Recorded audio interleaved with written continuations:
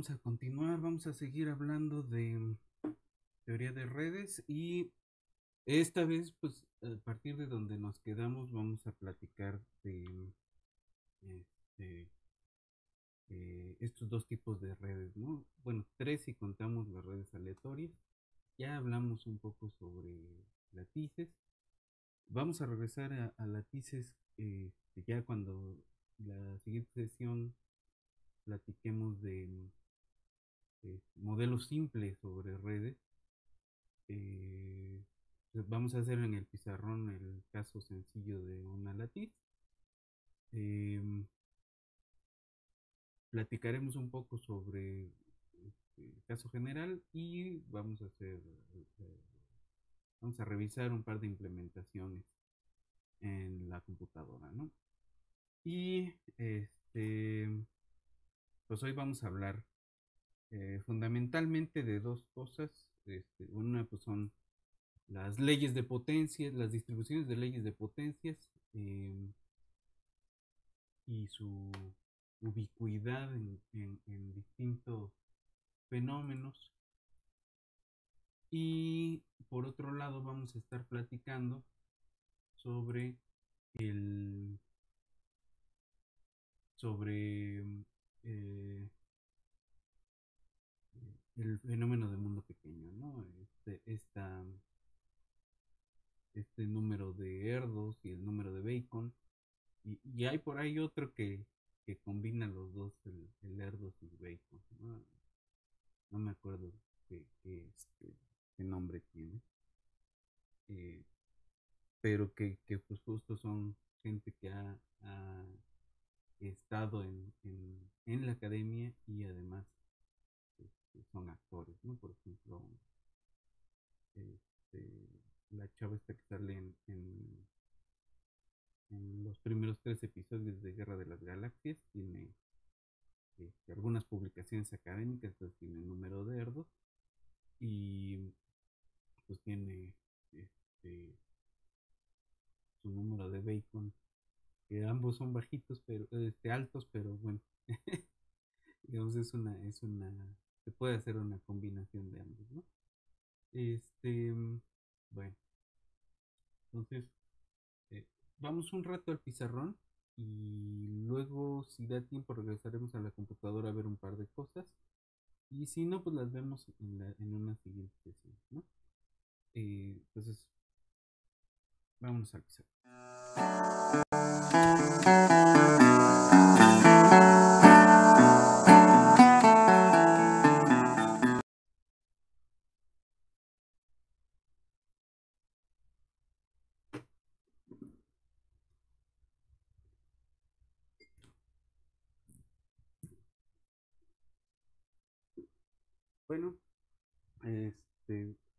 entonces vamos a, platicar sobre esto que dejamos pendiente la vez pasada, que es el, fenómeno del mundo pequeño, eh, que de alguna forma se convirtió en algún momento de, de, de la década de los 90 en este, una propiedad que señalaba cierto tipo de redes que algunos les llamaron redes complejas y otros les llaman este,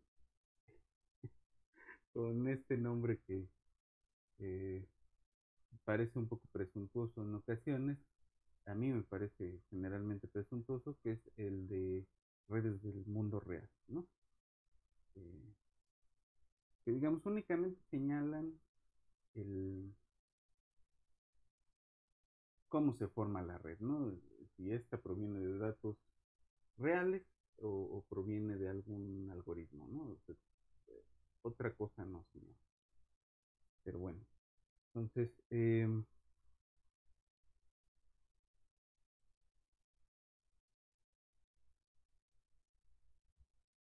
vamos a ver.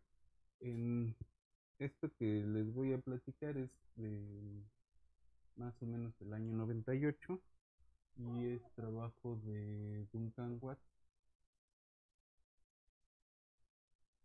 y de Robert.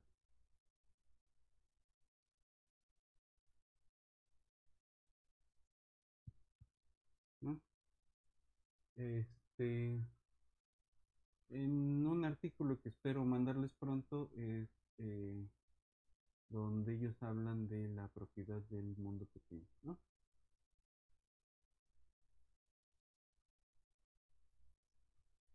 Ya estuvimos discutiendo la vez pasada que, qué significa que, que un, un nodo en una red sea importante, ¿no?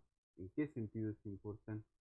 Ahora, aquí eh, hablamos ¿no? de distancias entre nodos y hablamos de esta propiedad de pertenecer a un montón de trayectorias de distancia mínima entre nodos.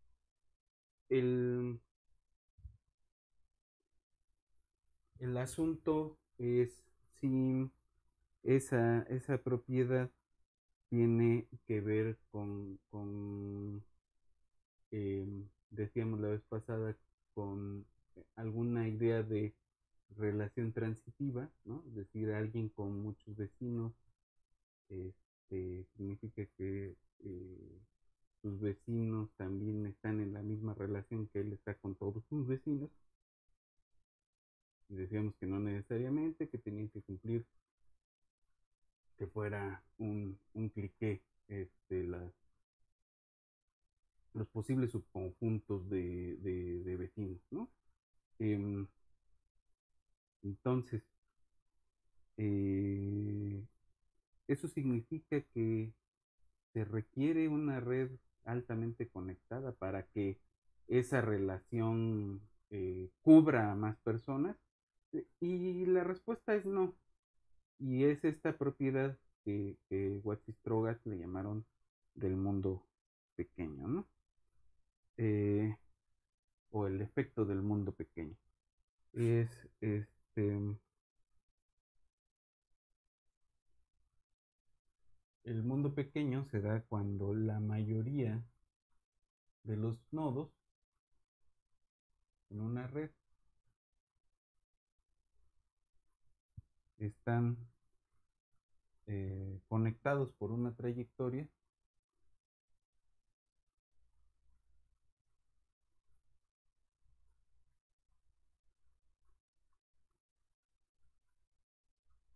relativamente corta en la red.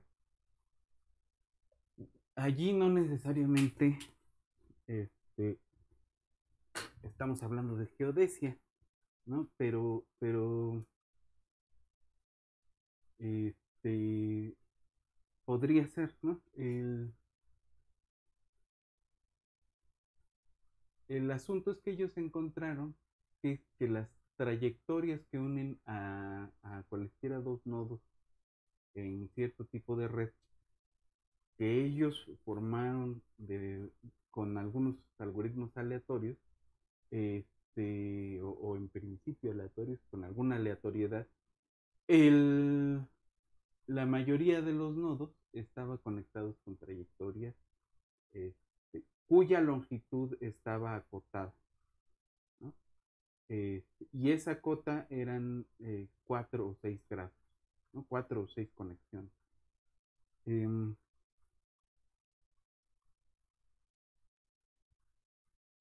entonces, ¿qué es lo que se da aquí?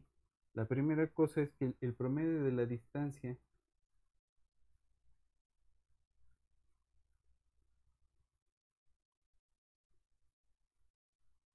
nodo a nodo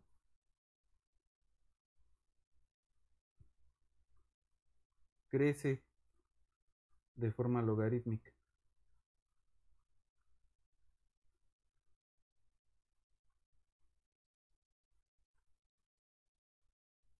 Eso respecto al tamaño de la red.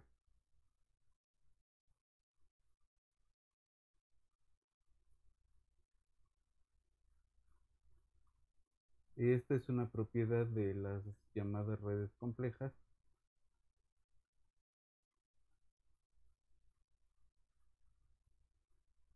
Este, o del mundo real, ¿no?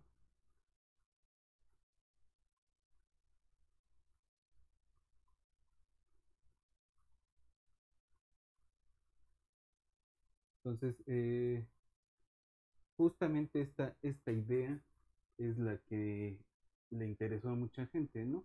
Eh, si partimos de datos reales, si partimos de el análisis de algún tipo de situación y formamos de algún tipo de relación social, por ejemplo, o, geográfica o, económica, y formamos una red, esa red necesariamente eh, muestra un, la, la, propiedad del mundo pequeño. Digo, y la propiedad del mundo pequeño implica mucha conectividad o no necesariamente. Entonces, hacia, hacia ese es a lo que estamos yendo.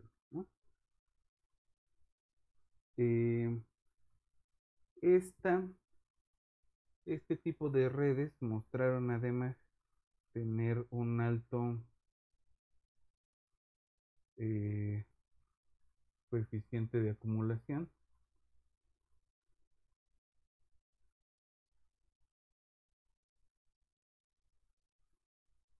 Y presentaron eh, cierto grado de transitividad. ¿No? Esto significa que hay una alta probabilidad de que dos nodos se conecten directamente eh, si tienen un vecino común. Esta propiedad de transitividad. Eh,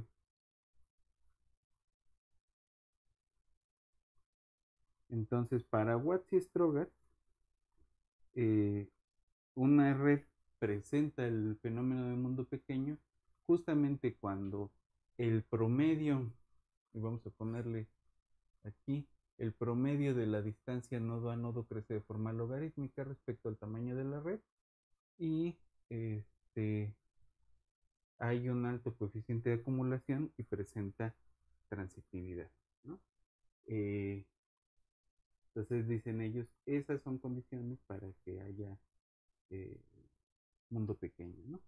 y dicen eh, en su conclusión, pues ambas propiedades se presentan en las redes del mundo real. Eh, y bueno.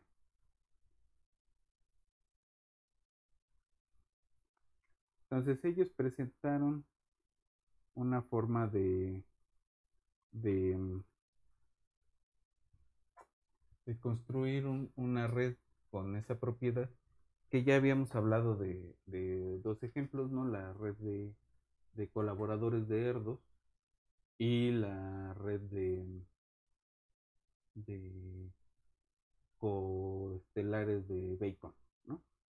Este, son redes donde el, número más grande de conexiones entre dos miembros, pues es, este, lo más 6, ¿no?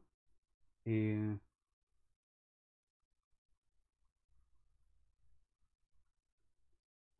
Entonces, Watts y Strogat propusieron un algoritmo en el que partiendo de una este, latiz regular con cierta mecanismo este, aleatorio podían generar una red de mundo pequeño. Eh, ¿De qué partieron ellos?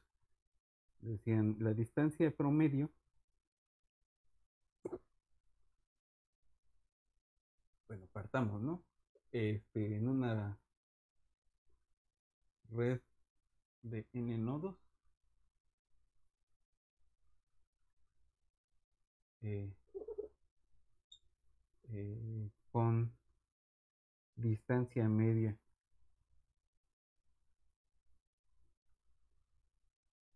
Este eh,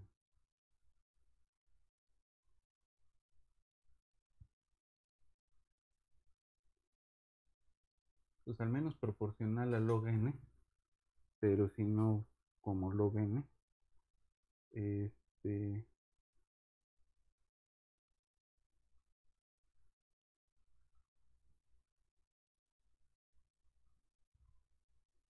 Lo que dicen ellos es. Eh,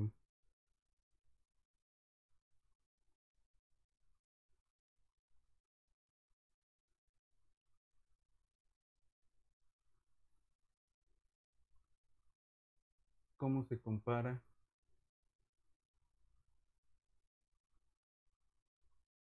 con una completamente aleatoria.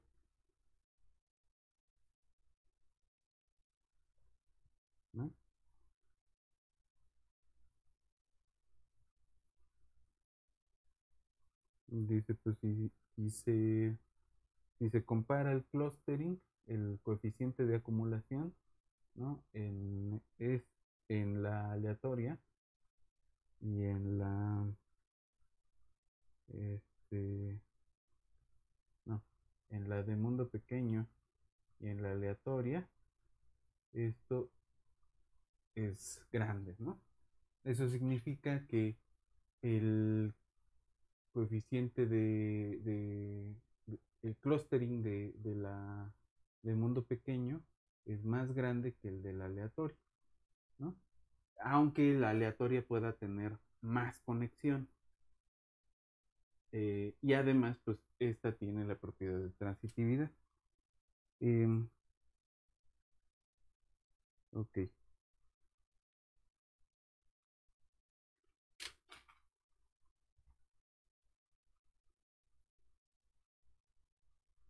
Entonces, ¿ellos de qué partieron? Parten de una latiz regular.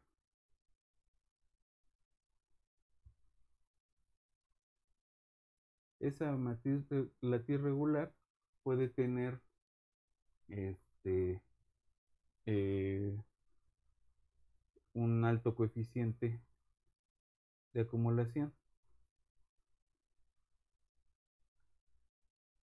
¿no? Y sigue siendo una latiz regular. Eh, en una latiz regular, eh, pues tenemos este número de triángulos, ¿no?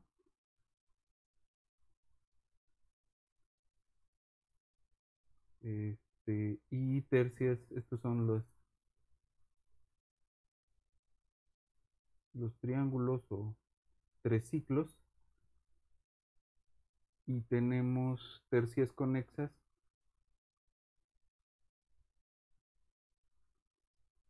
Eh, LK 2K menos 1 donde la LK es el el grado del el, grado promedio de la latiz ¿no? Eh, no, perdón, es L, que es el, número de nodos por K por 2. Y K es el, promedio de grado de la latiz. Em, entonces, el coeficiente de acumulación, como lo habíamos descrito la vez pasada, pues son 3 medios eh, por K menos 1 sobre 2K menos 1. entonces, cuando K crece mucho, esto tiende a 3 cuartos. Para K grandes, esos 3 cuartos. Em,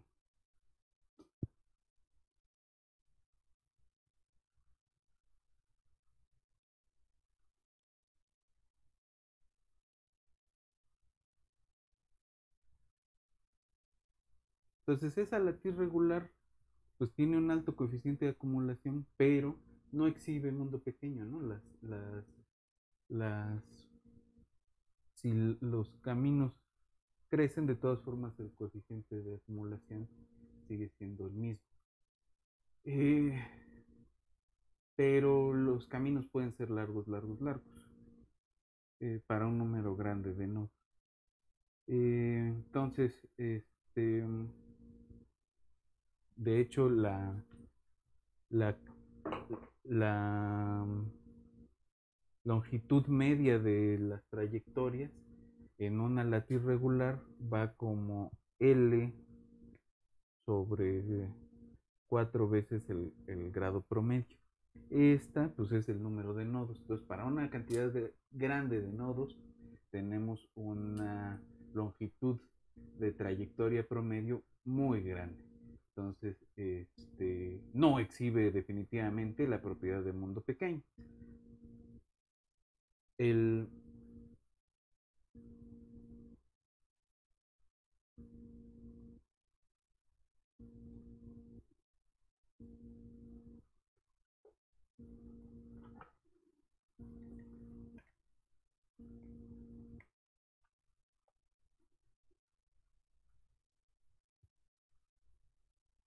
Ahora, el,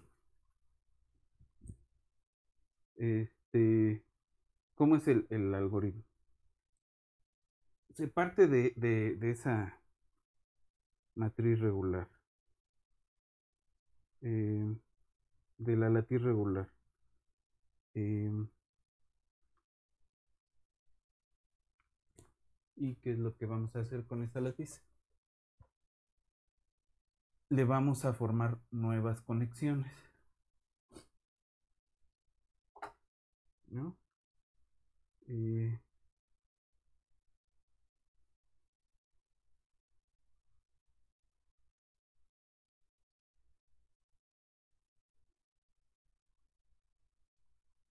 entonces,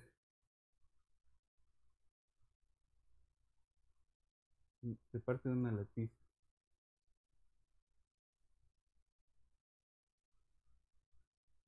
regular y se, se, se conectan, se reconectan aristas con una probabilidad que le podemos llamar P. Entonces, se, vamos a tener cuántos nuevos enlaces, pues tantos como nodos teníamos, como conexiones teníamos y como este, lo mida la propiedad, ¿no? LKP enlaces nuevos o este, aristas nuevas, ¿no?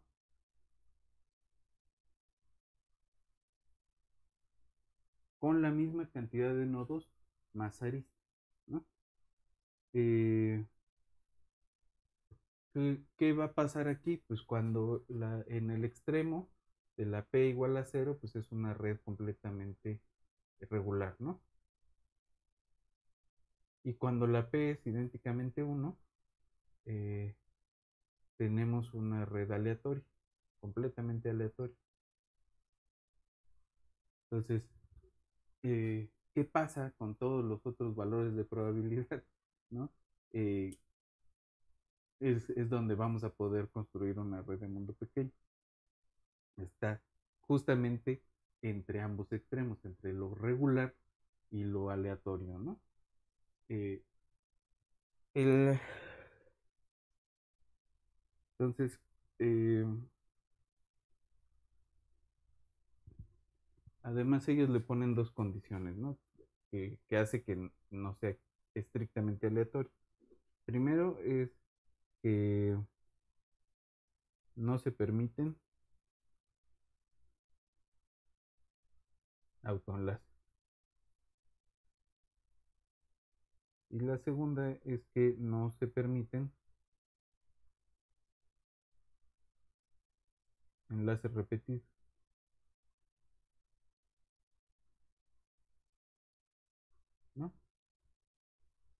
Entonces, si dos nodos ya están conectados, esos este, tienen probabilidad cero de ser reconectados, ¿no? Em,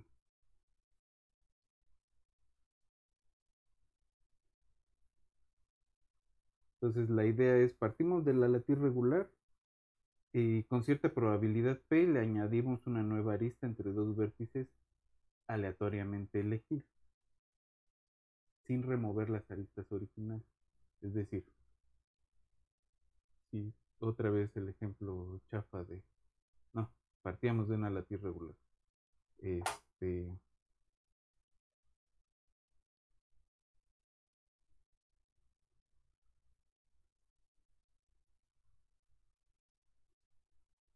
tenemos nuestra latiz regular y a partir de esta hacemos no quitamos nada sino que ponemos no entonces eh, se eligen aleatoriamente dos dos dos nodos ¿no? y se tira un dado y si les va bien va a existir una nueva ¿no? pero si aleatoriamente elegimos estos dos que ya están conectados entonces la probabilidad que tienen de reconectarse es cero, ¿no? Es decir, solo les queda, en el mejor de los casos, solo les queda estar conectados, pero ya estaban conectados. Y la regla es que no pueden desconectarse. Eh, entonces, el promedio de nuevas aristas son eh, el número de nodos, la cantidad de conexiones y uno más eso en promedio. entonces, el grado de, el coeficiente de acumulación pues, se ve como 3 medios de K menos 1 sobre 2K menos 1 eh, por 1 menos P, perdón, aquí es 1 menos P, al cubo. ¿No? porque esta probabilidad de no estar conectados, pues la tenemos que considerar para los tres elementos de, los, de, cada uno de los tres ciclos, ¿no? Eh,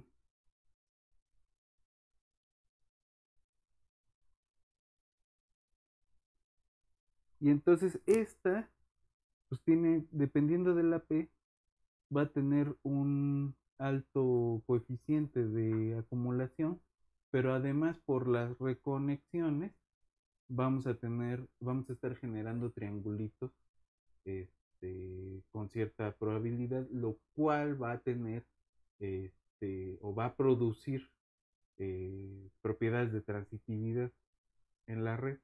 Y eso va a derivar en, una, en, en, este, vamos a forzar pues a que, a, que este proceso pseudo aleatorio eh, genere una red de mundo pequeño o una situación de mundo pequeño a partir de una red completamente regular.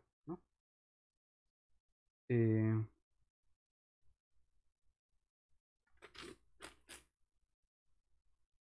ahora, el otro, el otro mecanismo que platicamos la vez pasada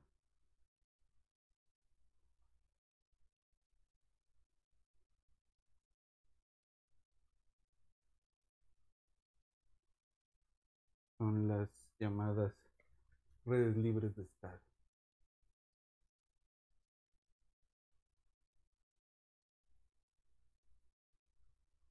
que son trabajos de Barabasi y Alberto. Eh, y tiene que ver con que la distribución de grados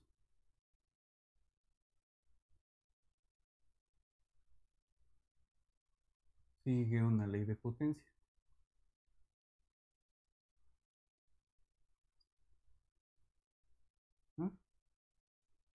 Decir, que la distribución, que la probabilidad de encontrar un, nodo de grado K es este, eh, proporcional a una cosa de la forma K a la menos gamma. Y no solo eso, sino que esa gama se ha calculado para varias redes aproximadamente a 2.3. ¿no? Eh, ¿En qué tipo de redes se ha calculado? Pues en, a finales de los 90 se pusieron a calcular esa gama para este, redes de citas de artículos, es decir, si en un artículo alguien cita a otro autor, se inmediatamente quedan este, eh, relacionados en esa red, ¿no? Eh, la red este, de todo el mundo, la World Wide Web, este, también sigue una distribución de leyes de potencia. Eh, las redes metabólicas, ¿no? Las redes metabólicas también siguen una distribución de, leyes de potencia. Eh, y bueno, sí, aquí hay, sí hay que decir que hay, que hay una, hubo una tendencia a querer ajustar no solo las distribuciones de grados, sino distribuciones de otras cantidades, por ejemplo, este, hay un, problema que, es más, más este, viejo, que tiene que ver con la frecuencia del uso de palabras. Y resulta que casi en cualquier idioma eh, la frecuencia del uso de palabras se distribuye como una ley de potencia también, ¿no? A eso se le llama este, perdón, este, se ajusta a una ley de potencia, ¿no? Eh, y eso porque hay palabras que se usan mucho, ¿no? Las preposiciones, los, los artículos, etcétera, ¿no? Eh, ¿Qué es lo que podemos deducir de una ley de potencia? Que hay pocos que pocos que aparecen mucho y muchos que aparecen poco. En términos de palabras, ¿no? Eh, hay conectores y artículos que aparecen mucho, que son muy frecuentes, y hay palabras como desoxirribonucleico que aparecen muy poco en cualquier discurso escrito en, por ejemplo, la lengua española. Eh, y entonces tenemos esa distribución con esos dos valores extremos. Eh, ¿Qué otra cosa se distribuye así? La riqueza, ¿no? Entonces, les decía, el mecanismo que vamos a ver en este tipo de redes es eh, o sigue la idea de que el rico se hace más rico.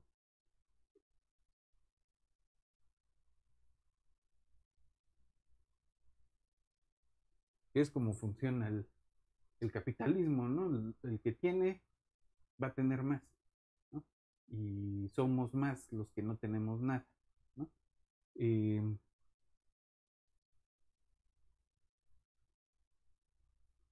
¿no? Eso es, es, es, es, lo que va, van a ir siguiendo estas, estas, este, este tipo de redes, ¿no? Em,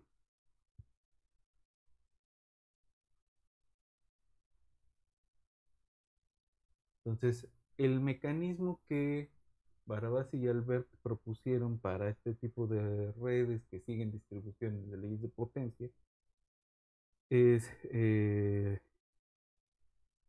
llamado el preferential attachment.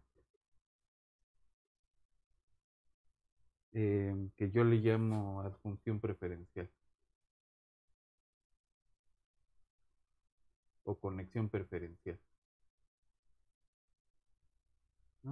Y la idea es que justamente el que tiene más conexiones, el nodo que tiene, un nodo que tiene más conexiones, va a seguir teniendo más conexiones. Y ellos propusieron dos mecanismos. El primero es que la red crece con nuevos nodos.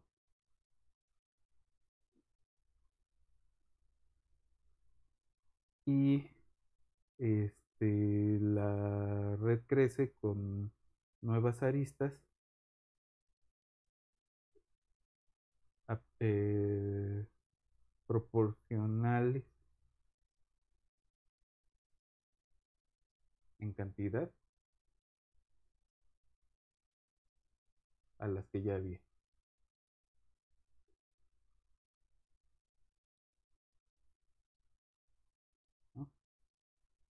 Proporcionales al grado.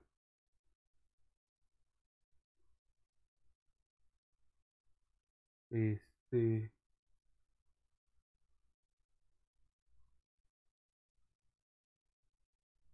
Es decir, podemos tener eh, ¿no? Alguna red con alguna topología. Y lo que hacen es eh, que hay cierta probabilidad de, generar nuevos nodos.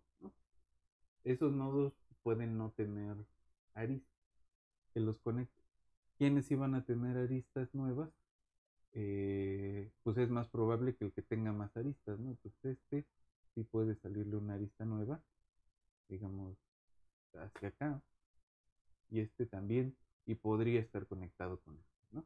Entonces, generamos eh, o se generan nuevos nodos con menos conexiones y las, con, los nodos conectados que ya había siguen acumulando más y más conexiones, ¿no? Y ese es un poco también el mecanismo de Internet.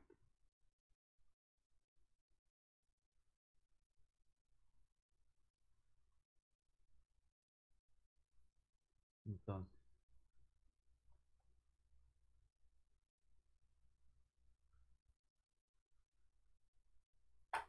partimos de eh, el grado de algún vértice, ¿no? El grado del vértice XY. Eh, la, la, probabilidad de que eh, una arista pertenezca a un vértice nuevo, a un vértice nuevo XY, pues va a ser,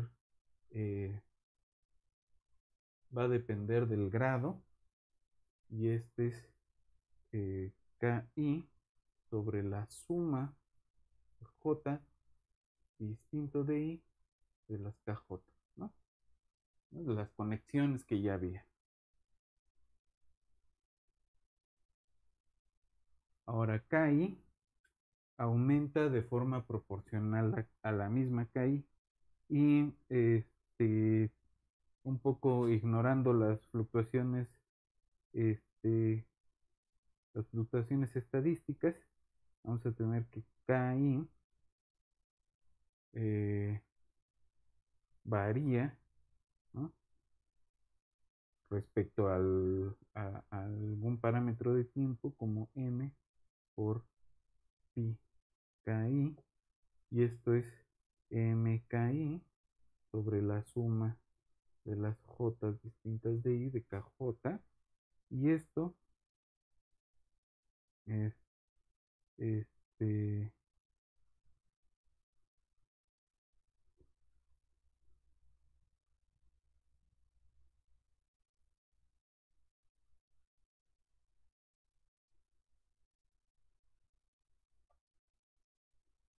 esta m en realidad va a variar respecto del parámetro temporal y vamos a tener que esto se aproxima acá y sobre 2t, que es lo que vamos a tener acá. Entonces, eh, la KI eh, la podemos escribir en función de t como m por eh, KI sobre t a la media.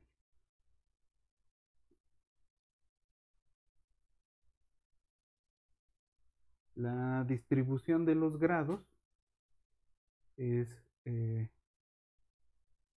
la probabilidad en el tiempo t encontrar un nodo de grado k, pues es 2m cuadrada t sobre k cúbica, que es una ley de potencias para lambda igual a 3.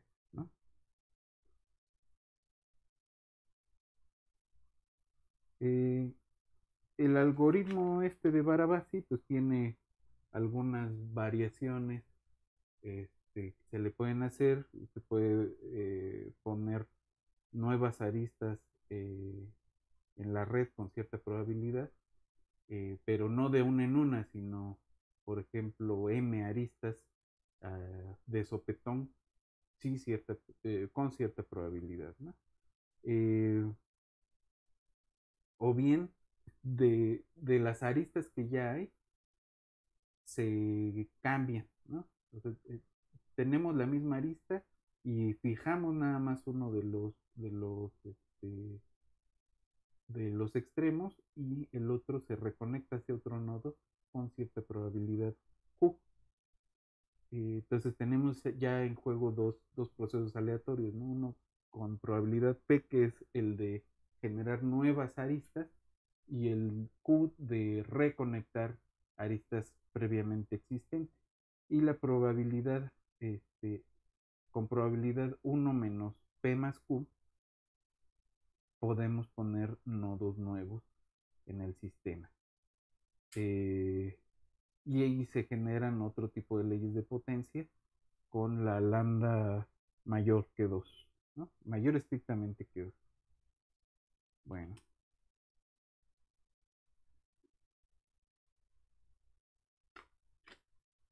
Ok.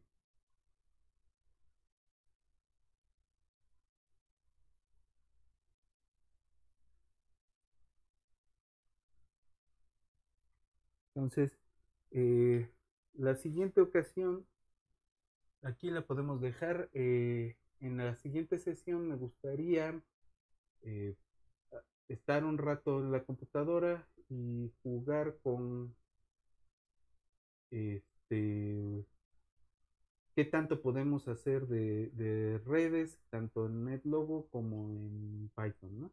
Entonces hay que darle una visita a un paquete llamado NetworkX este, vamos a estar jugando un poco con eso. Vamos a ver una herramienta de, visualización que se llama Gephi. Eh, y a ver qué tanto podemos hacer, ¿no? Va, a ser una parte como de taller de cómputo. Y eh, después de eso hay que hablar de, ya, ya con esta con estas ideas, qué tanto podemos eh,